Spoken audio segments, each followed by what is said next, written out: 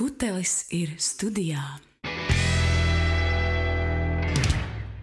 Deputāts var balsot par, viņš var balsot arī pret. Un gadījumā, ja viņam šajā jautājumā kaut kas līdz galam nav skaidrs, vai tur ir kāds mm, interešu konflikts, viņš var arī atturēties. Viss liekas ā, diezgan korekti. Tomēr kaut kādā veidā pa šiem gadiem mūsu simts gudrās galvas ir atklājuši pavisam citu loģiku atturēšanās balsojumā, un te mums ir nedaudz jāpadraudzējas ar matemātiku.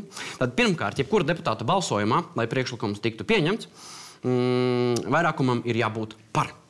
Otrakārt, ja lielākā daļa balso pret vai atturās, tiek pieņemts, ka vairākums nebija par. Un vienkārši piemērs šīs teorijas. Jau sēdē atnāk 100 deputāti, 50 nobalso par, bet 50 atturās. Priekšlikums netiek pieņemts, jo vairākums nebija par. Lai arī vispār neviens nebalsoja pret. Saprotat? Vai arī, piemēram, gadījumā, ja 31 ā, deputāts nobalso par un savukārt 30 nobalso pret, vairākums it kā ir par. Bet desmit atturās, un līdz ar to daudz vairāk sanāk pret. Un arī šis ā, priekšlikums netiek atbalstīts. Jums, protams, varētu šķist, ka šis ir tāds absurds un teorētisks gadījums, un kaut kas tāds realitātē drīzāk jau nenotiek. Nu, nevar būt, ka viņi ir tik bezkaunīgi un izmanto šo sistēmu. Protams, ka nē. Mūsu deputāti atturās tikai un vienīgi tad, kad viņiem ir reāls pamatojums. Kāpēc jūs nebalsojāt? Jums kartiņas izņemts ārā abiem diviem. Nē, mēs sakām, Es pirms tam pienācu un jautāju, vai jūs balsosiet.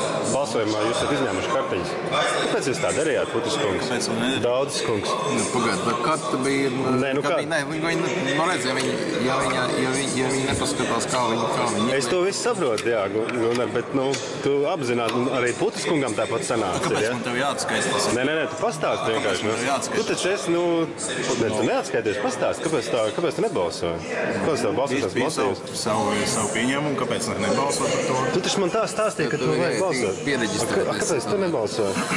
Tev nesanāca tehniski. Pagriez to kameru Nu, es varu šitā pagriezties. Tā, lai redz, ko staigā. Staigā.